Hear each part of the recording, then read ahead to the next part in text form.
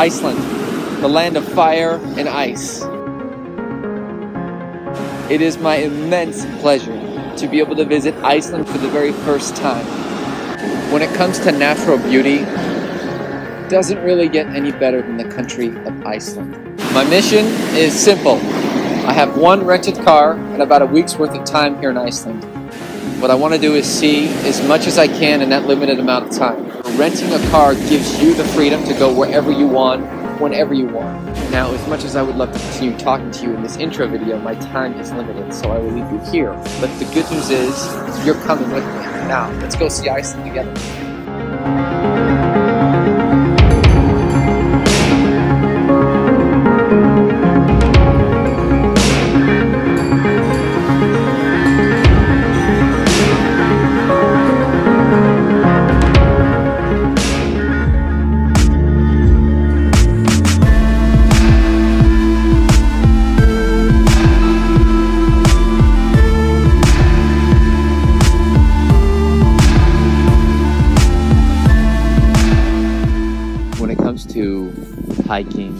Trekking, Iceland just might do it better than any other place on earth. At the very top of the list when it comes to hiking in Iceland is the Laugavegur Trek.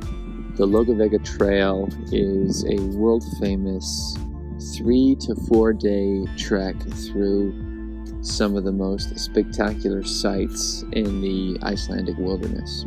The Laugavegur Trail is actually only available for a few months throughout the year. It opens up around the start of July and is walkable from July, August, and into September. The starting point of the Laugavegur Trail is a place called Landmannalaugar. They also call this place Tent City since when you get here by bus, you'll see all these tents propped up right at the beginning of the Laugavegur Trail.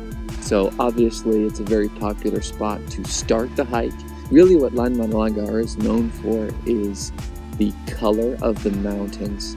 So these mountains they call rainbow mountains because you look at them and they are all types of different colors.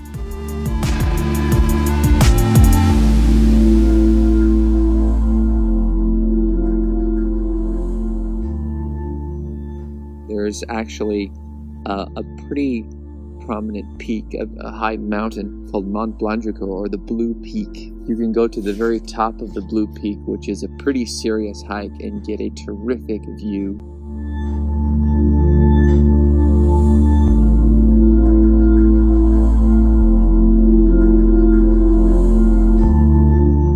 Welcome to the summit of Mount Blanjuka, otherwise known as the Blue Peak. Getting up here can be quite the challenge. It takes anywhere from a, an hour to two hours, depending on your level of fitness. But I would encourage you to push through uh, the tiredness, push through the the sweat, push through the difficulty. Because when you are up here, you get a sight of all the beauty that Iceland has to offer. On one side, you see the mountains with all of the colors. It's no surprise they call these rainbow mountains because you look at them and you see almost a light pinkish color, a dark brown, green. To the other side, you see hills, volcanoes, and lakes, geysers with steam popping up. Um, it really is the quintessential Iceland postcard getting up here. It's called the Blue Peak. It gets its name from the shimmering blue black color of its sides. One cool fact is that the rugged terrain that you see here when you climb up literally was formed out of lava. So you're walking on an old lava formed mountain. From here you get a good shot of the Landmannalaugar campsite. You can see all the tents that look like little puny ants. One thing to keep in mind if you are coming up Bláhnúkur is to take your time, don't make it a race, especially if you are here in the summer months, you have all the daylight in the world. I say that just because some of the gravel can be a little bit loose um, and it's not worth slipping off the side of one of these uh, drops here because the drops seem like they don't end. It's safe to say that if you do take on the Blue Peak hike, it will be one of your favorite hikes you've ever done. Once you are up here, enjoy the view, take it all in, and congratulate yourself on a terrific view. Those of you who are hiking enthusiasts, who love to push yourselves and enjoy being in one of the most beautiful places in the world should definitely consider hiking the Laugavegur Trail.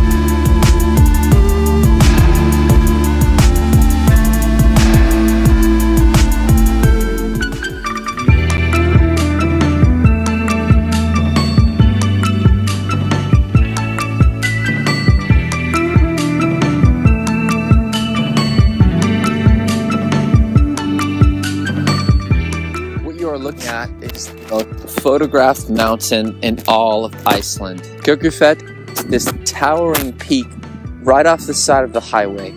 If you're at this part of western Iceland, it's impossible to miss. Next to Kirkjufell is actually Kirkjufells, which is this three-tiered waterfall that is just gorgeous. On the opposite side of the waterfall is where you can take that really well-known shot of the waterfall on one side and the mountain on the other.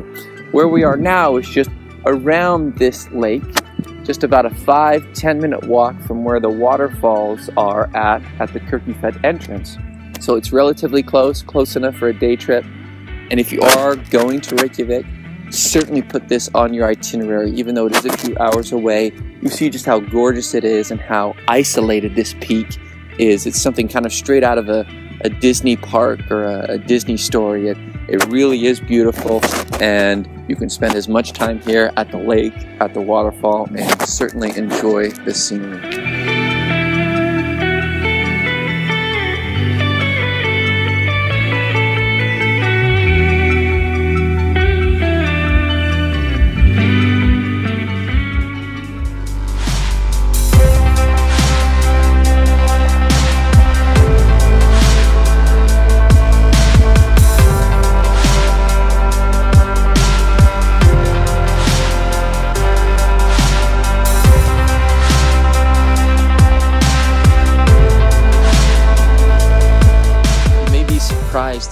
That one of the most popular tourist destinations in the entire country of Iceland is a crashed military plane. Thankfully, everyone in the crash survived. The result of the crash was just a pilot error.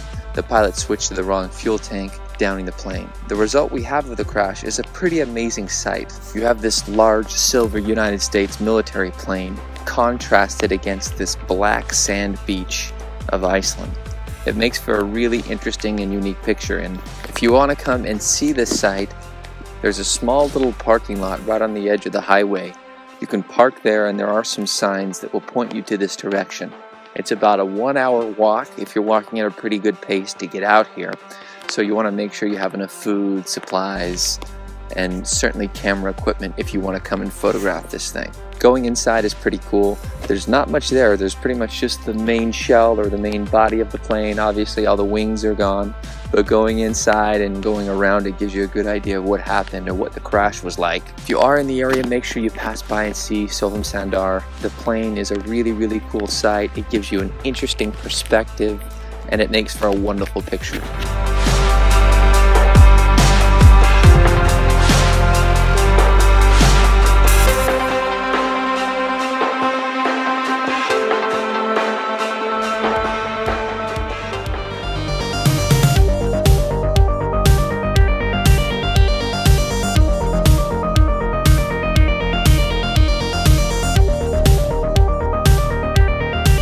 Willing to bet that you've probably never seen a beach quite like this, otherwise known as Diamond Beach. There are a few things that make this beach really unique. First of which is the sand. We're on a very fine black sand. I'm sure that goes back to volcanic roots somehow. They call this place Diamond Beach for a reason. Upon the shore, large chunks of ice come washing up and they look like diamonds in the sun. So on a day like today where it's relatively sunny, I won't say warm, you have these chunks of ice wash up on the shore and reflect the sun to give the appearance of diamonds. Now these chunks of ice are coming because there's a giant glacier on the other side of the beach. This glacier provides the ice that floats around and makes its way to the beach. It is nice and sunny out and the sun does provide a little bit of relief from the cold, However, this is not your traditional beach in that this isn't a place you probably want to stick your toe in the water. In fact, you want to be careful of that unless you want hypothermia. The sand really is cool. I actually put some in a little container and I'm going to keep it with me. I've never seen sand like this before. It's pure black and very delicate. It's quite a drive to get out here. It's about four and a half, five hours from Reykjavik, but the drive is absolutely worth it when you get out here to see the way that these chunks of ice reflect the sun on the beach. Diamond contrasted with the black sand it really, really is cool and it's worth your time. So if you have the time and you or you're able to get out here, you should definitely plan on it because not only can you see Diamond Beach with the black sand, you'll also be able to see a real life glacier, which not a lot of people get to see.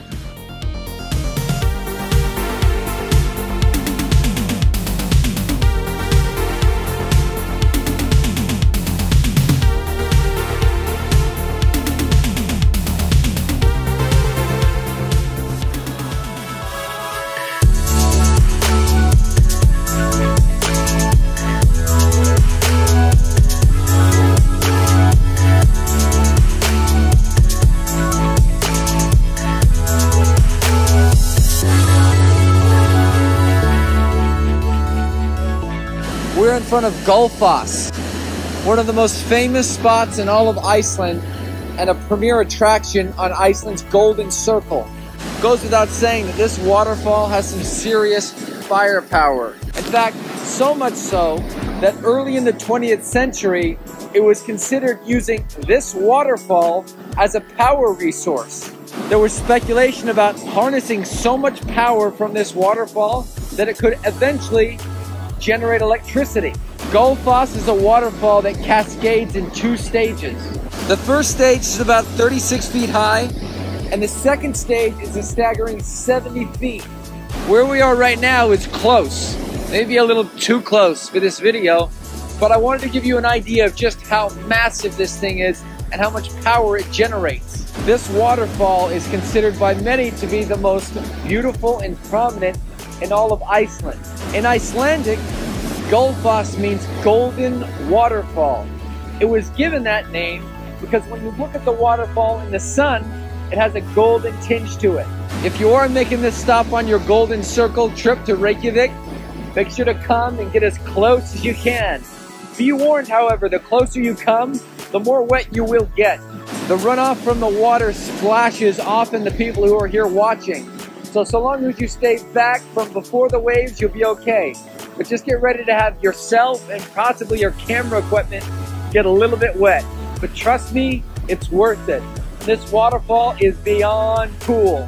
So please come here and just appreciate how powerful and really how awesome this place is.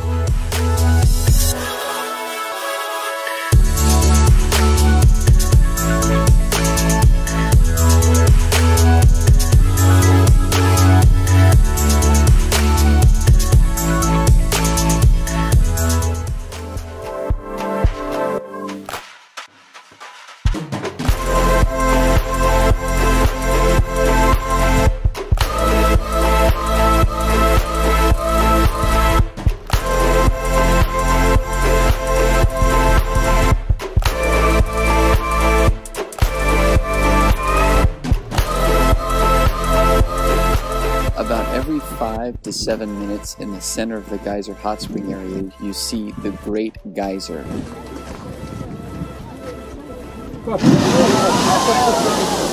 Now, this is a very, very large geyser that shoots boiling water up in the sky about 100 feet. If you go to um, the fountain shows at Las Vegas or Dubai, this is essentially nature's version of that. And when you get nice and close to these hot springs, you can feel the heat as the steam comes off off the boiling water. Geysers actually surround this entire area. So if you walk around, you'll notice that there are uh, several areas where you can get very, very close to these hot spots and see these boiling water. So obviously, if you're close to Reykjavik, if you're planning on doing the Golden Circle, make sure you hit the geyser hot spring area and make sure to spend some time waiting for the great geyser that shoots up every five to seven minutes. Again, the good news is you won't have to wait too long because it's going to be shooting up. Try and camp out and get a good seat right in front and then go a little further back so you can get a good vantage point of that great geyser shooting off.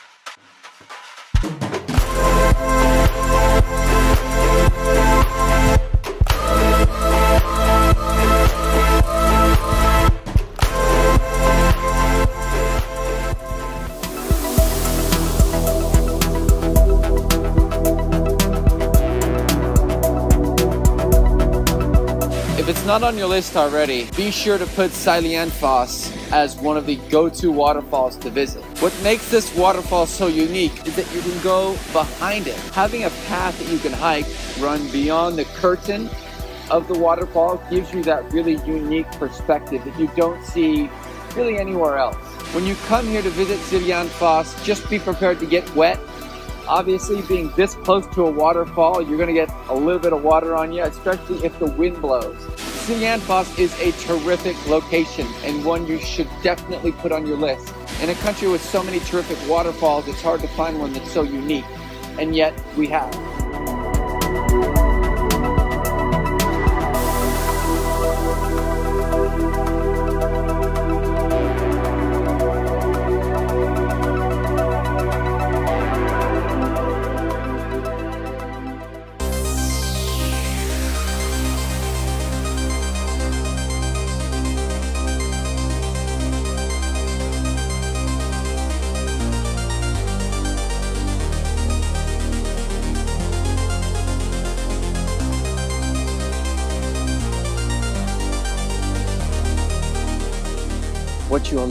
Is the most famous church in Iceland. This is called Hallgrímskirkja. Hallgrímskirkja is the tallest building in all of Reykjavik and the sixth tallest building or edifice in all of Iceland. Understandably, it's kind of a hotspot for tourists to see this really incredibly unique looking church in the center of the city. Hallgrímskirkja is visible from nearly any point in the city. You can always see the tip, very recognizable as it has the statue of Leif Erikson just right out in front of it.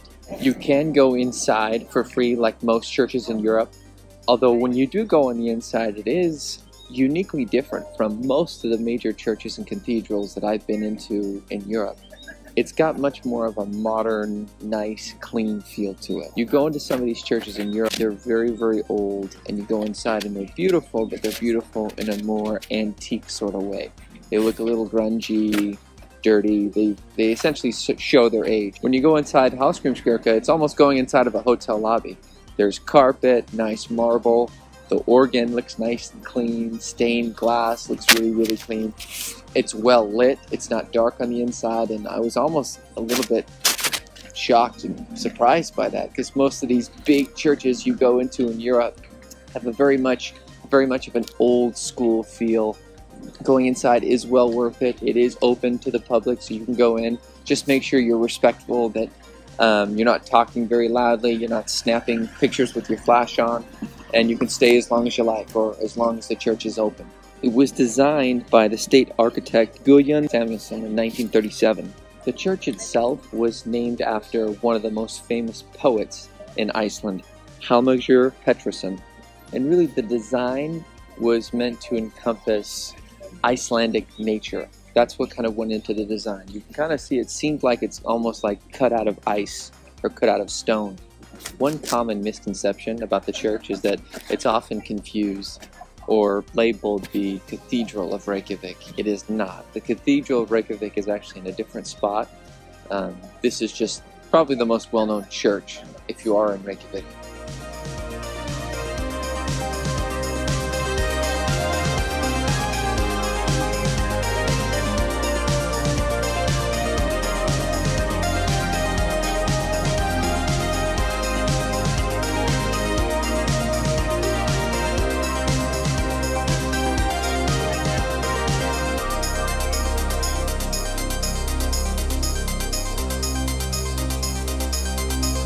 Reykjavik. It is the capital as well as the largest city of Iceland. It really has a small town feel to it. You see a lot of tourists pouring in and out of the Hallgrímskirkja church, the opera house, the the Sun Voyager. It's clean, it's safe.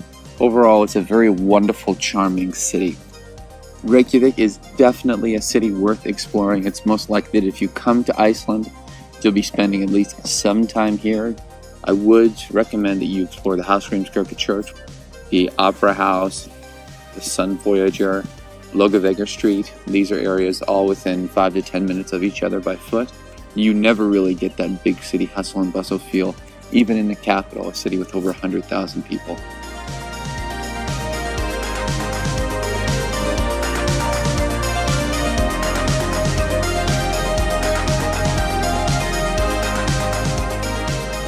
One thing you may have to get used to if you visit Iceland in the summer is just the amount of time that it's light outside. Right now, it's just past 11 o'clock at night. That's right, 11 o'clock at night. This can allow you to see several different sites in the city because you have so much daylight. So make use of it.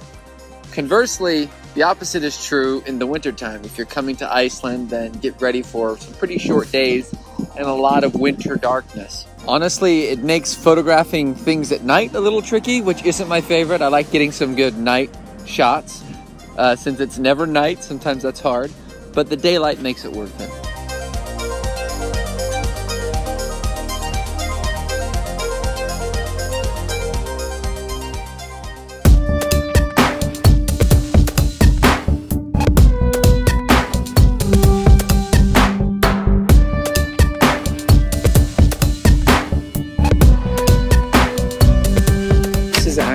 Lava beach. The sand here, which is black, was made out of ash. There are actually several lava beaches here in Iceland, but this is probably the most famous one. This is a very famous, popular spot to take photographs, especially with the rock formations in the ocean. Instead of being real sandy, it's more rocky, especially the closer you get to the water. So you get to the water and it's, it's mini rocks, which really is better. The sand doesn't really get everywhere and, and, annoy you. The rocks themselves are a little easier to deal with. You see this enormous natural pyramid made of basalt columns, and people think that they look like a staircase to the sky. And often you'll see people climb these, and it's really a natural wonder, and it complements the the beach very, very well. Try and come here too in uh, in the evening where you can catch a sunset, which are just gorgeous like most of the places here in Iceland, it gets busy, but not terribly busy. So you can come down here and enjoy a, a, perfect evening and enjoy the cliffs and have it to yourself. Another good time to come to Reynisfjara Beach is earlier in the morning. There are just a few people here on the beach, and to be here alone, you get a good, quiet, serene feeling. You just hear the crashing of the wave. Obviously, come to Reynisfjara Beach this this is a gorgeous place. I'm willing to bet you probably haven't seen a beach like it to the extent that you are able to try and walk as far as you can along the beach and you'll be in for a very peaceful, serene experience.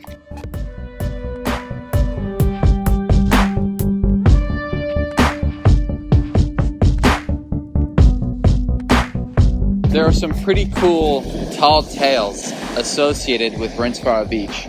For example, the famous columns that you see when you first get out on the beach. Legend has it that these large basalt columns were once trolls trying to pull ships from the ocean onto shore.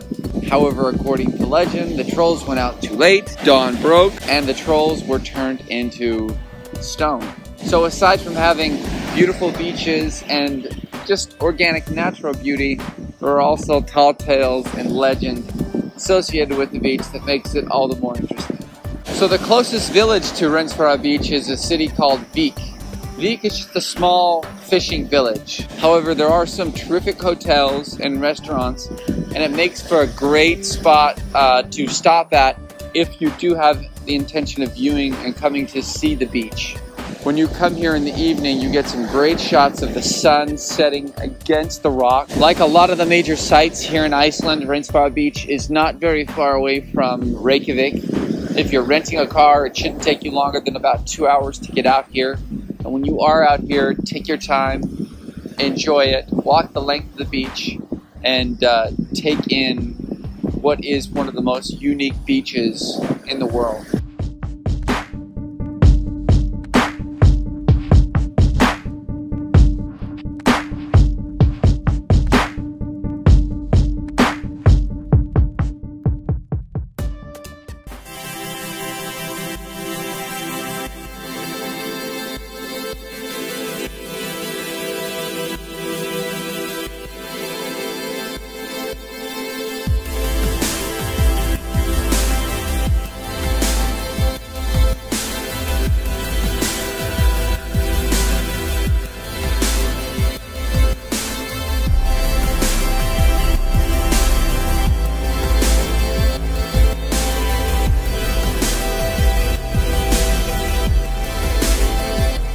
So, are you impressed yet?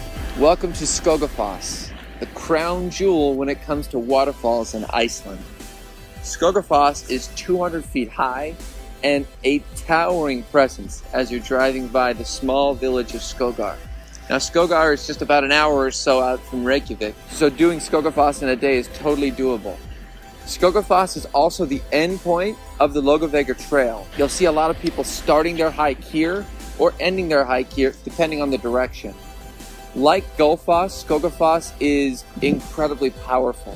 When you get here at the parking lot, you can just hear the sound of the water crashing up against the ground. Now, although not terribly advisable, especially if you have very expensive camera equipment, you can walk up right to the very, very front of the falls. This will give you an idea of just how powerful this waterfall is. Make sure you're careful. You will get wet, as will your equipment, but it will be a very, very cool experience. Just to the side of the falls is a trail that leads up. Now this trail will take you the opposite direction the Laugavegur Trail. So that means after you pass Skogafoss, you will go and pass about 25 other little waterfalls. If you keep going on this trail, you'll eventually go on the road to Thorsmark, where you'll see the Fimmvörðuháls Pass. It's likely that you've seen Skogafoss in either Hollywood movies, commercials, or promotional materials. This is the quintessential image that appears in people's minds when they think of a waterfall. Skogafoss is accessible and visited by many all throughout the year. You can even come here during the winter time. It is a lot more cold and slippery, but still nonetheless very, very beautiful. If you have an affinity for waterfalls, or if you just want to see an awesome and terrific spectacle, you must come visit Skogafoss. As beautiful as it looks in pictures, it, they do not do the real thing justice. You will be mesmerized, you will love it. So make sure you put it on your list. Do not miss it. Make sure you bring your poncho.